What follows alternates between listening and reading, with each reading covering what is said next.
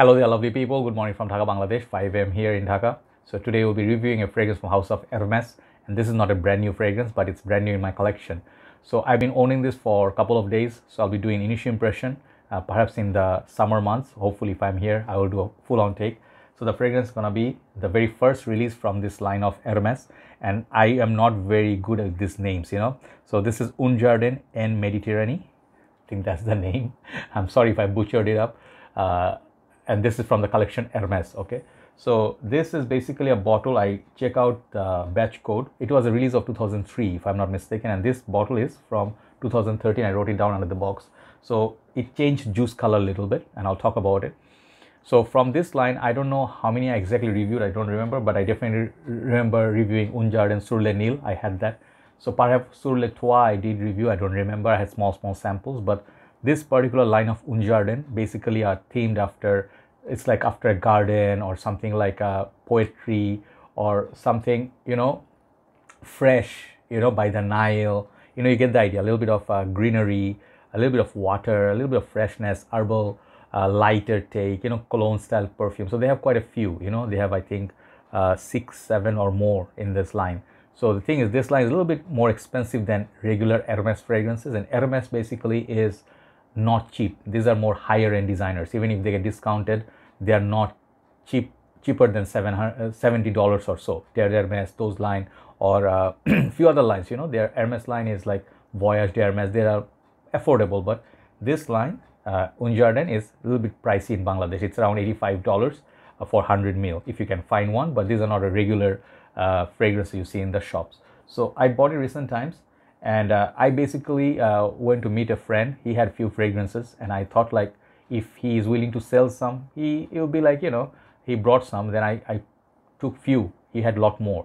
But i saw this i was like not sure if i want to take it because of the description i read in the uh, fragranticas. Most people said this is kind of like not the longest lasting. So i was like pricey let's see. But when i sprayed it you know on my hand he was kind enough to let me test it. It was a brand new bottle when I tested on my skin, I fell in love with it because of the fig note. Okay, if you are a fan of fig, you must check out this fragrance. Okay, I'll tell you in details. I'll speak slow because I'm not well today.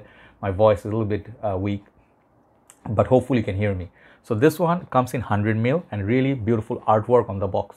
Okay, okay, it's like white box. It, it's very beautiful painting. If you can appreciate art, these are very artistic. The name in front. This is EDT concentration collection Hermes and you can see Hermes up there the logo. There is the batch code bottom. And this fragrance has a story at the back which I'm not going to read but this is the box. Looks really nice. When you open it even it continues the blue inside you know? Really like the blue touch. Sort of feels like you know Greece you know? Greece has those beautiful houses you see in the movies or documentary beautiful ocean and then you see beautiful white house with that white and blue paints everywhere and blue skies. Looks like heaven right so here is the bottle. These are all the bottles they come in this kind of uh, bottles. And then look at the juice color. Many of your juice color will be different than mine. So this is already nine years old 2013 until 2022 so it's basically changed the color of the juice. I think uh, i could be wrong. If your bottle juice color is same okay but i think the juice color matured and this one became quite strong okay? So this is the cap. The cap basically is plastic. It's a uh, clicks onto place you can pick it up. Looks very nice. I like the juice color now. It's very boozy kind of ambery juice color right? And the bottle basically at the base has this blue sorry my t-shirt of the, it's i'm wearing new zealand jersey. This is one of the world cup jerseys. I really love this. And this bottle basically is like transparent and then base it gets kind of blue greenish right? So heavy thick glass base the name in front um, bottom you find your like the sticker and the thing is this is a unisex release. The whole line basically is for both gents and uh, ladies okay? So i have it on my hand for one hour so the dry down already reached and it's very rich very creamy. Let's do one. The sprayers on these are very beautiful okay? I love the sprayers check out the spray. Oh man. Where did i spray? I sprayed on my phone. I'm so sorry. Why? It, it, see it moves. If i put okay sorry. Maybe i bring it back like this. Yeah now okay okay sprayer is very very good really huge distribution so i actually got some on my watch too no man disaster sorry about that so this one it opens up very beautifully. Okay, I fell in love with the opening spray. The burst is so energetic, so fresh, so natural. Like Hermes is a master perfumer, you know, like Jean Claude Ellena perhaps made this, yes. And he made some great fragrances which are very uplifting, very natural. Natural is the big word because many fragrances which are not natural smell synthetic and alcoholic, a major like a turn off, right, for many people this house of Hermes, you have seen me uh, like reviewing recent times H24, even that opening is so natural, citrus. Uh, some of the other ones from Terre d'Hermes line, you know, like their uh, Autre or Vetiver, every single like orange note and the citrus, lime, they do it so well. When you smell it for the first time, it's literally like such a juicy it's like a by the beach you are sitting there's a nice bar and they made you a refreshing drink in a warm summer day summer's day okay even if you're not a fan of fig you actually love the opening it smells like very ripe uh, mix of a lot of fruit juice like mandarin orange uh, perhaps some grapefruit some citruses some lemon and then they use it like let's say tequila sunrise or uh, there are some fragrances that are not fragrance some drinks they use heavy orange juice so i don't I, I forgot, you know, what are the drinks there were, but definitely by the beach, sitting there with a drink with a hat, you know, with a lot of tropical fruits. And uh, I think there's a bergamot, there's that orange. So definitely a big orange blast, like the orange peel, and you smell that ripeness of that orange, very sweet. And like the juice color, it gives you a lot of like a orangey vibe. Oh man, I look creepy in there. so basically, let me actually read the notes because I don't remember all the notes. Uh, let me read from Fragrantica. Uh, bergamot, lemon, and mandarin orange. Those three, I got them correct. Middle notes are orange blossom, that is neroli, and then white nerium. I can't read my specs, the power changed. Uh, clearly, I don't know what that is actually. There's some sort of like fruit. And then they have the fig leaf, which is a big note, cypress, red cedar, juniper, pistachio and musk so those are some really amazing notes isn't it so when you hear pistachio you know pistachio is something that i love the greenness of it the the very light you know feel like unlike almonds you know they have like big taste you know like big nutty feel but the pistachio is lighter good for your body so basically that fig comes to play at the heart you know instead of the base i get the fig from the heart note after one hour the fig is so prominent and the fig is somewhere between a fig fruit and a fig leaf it's green and sweet at the same time. Thing is, fig is a very uncommon note. I have reviewed quite a few fragrances like Womanity by Thierry Mugler, okay, female perfume that has a huge fig leaf but more milky fig. And then they have uh, fragrances like uh, Fico di Amalfi, Acqua di Parma. I reviewed that. That's a very citrusy take, similar style with this, but this is a lot more richer. Then there's like Noble Fig by Ferrari. I really like that citrusy fig. And one more is Dior's Dune, Dune Pour Homme. Okay, so these four I remember from top of my head. I reviewed. You can check out my review on those. So I fell in love with Dune Pour Homme. That was my first fragrance. Deep, uh, deep. What did I say?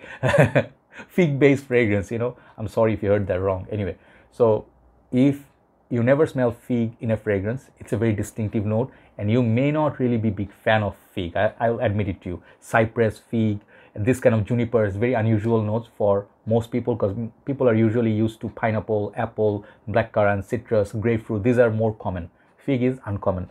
So I have been a fan of fig for last two years or three years. So I actually love this a lot.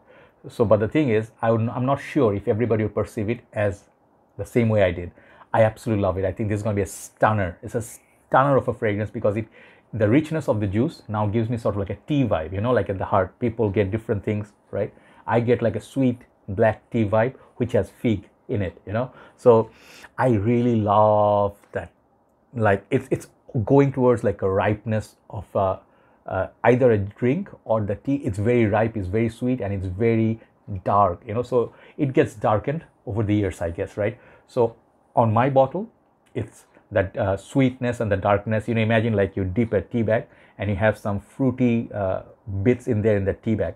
So you'll get like the sweetness of it like ice lemon tea if you take very strong or long island tea if you like sweet and then at the same time it's fruity uh, this is what it feels like except that long island tea is with that fig flavor so i absolutely love it i thought i was gonna just like uh, sell it back or something or give away no, not a chance. I thought uh, Un Jardin Surle Nil is my absolute favorite. I love that green mango in this. But I think this one actually is the big daddy. You know, I have to try the other ones, but Sur Le uh, was a few other ones like Laguna. I think there was one I haven't tried. There are a few other ones, but this line now I'm interested. So definitely try it out. I don't know if the juice color will be different. I think it will be mild green if you buy brand new and if it's still available.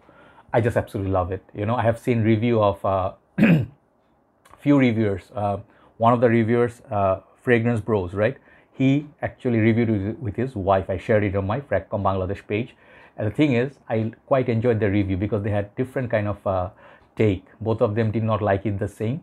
His wife got a little bit weak performance, and he got like six hour range. So for me, it's like five and a half hours on my skin, and that's how it's okay, you know, because it's supposed to be a fresh perfume. Fresh fragrance if you get more than two to three hours good. And the most important thing is always remember hermes you're paying a little bit more money for the quality ingredients. And that's what i feel it's a niche quality juice. If this fragrance they can sell for 150 dollars it will be still worth it okay? Acqua di parma if they sell for that kind of money this one should sell i absolutely love it it's just so beautiful um, fig based fragrance but with those oranges and then kind of like that richness i got this kind of like a tea vibe there's nothing boozy about it, but it's very uplifting, very, very different. And imagine having a nice drink by the beach, nice uh, breezy uh, day, and you just like wearing a hat, sunglasses, and you're enjoying your drink. Holidays, uh, beautiful perfume. It smell. It, it feels like paradise, right? So nice, exotic fragrance. I absolutely love this. I give this for my liking. Even the performance is something like seven out of ten category. I give this fragrance for its artistic aspect, beautiful bottle presentation. I give it 10 out of 10. Okay uh, that good. It's better than for me Sur Le Nil. Sur le Nil is nice. I like that. It's interesting, but the green mango, it's kind of like a little bit bitter in a way. This is sweeter, right? So thanks very much for watching. Those who wanted to uh, see the review, please do check out the fragrance. If you find it somewhere, sample it. Always remember last word. Uh, you can see a thousand reviews, but you'll never understand until you smell it. And if you actually a fragrance lover sometimes you know we do blind buys like this uh, a lot because we love fragrances even if it's a fail it's okay love of the fragrance but if you don't have that sort of a budget that allows you to do that always sample a fragrance smell it then you realize either i like it or don't like it should i study it further it will tell you a story right? Thanks very much for watching and i will sign out. And thanks for all the love once again. Have a nice day. Stay safe. Tata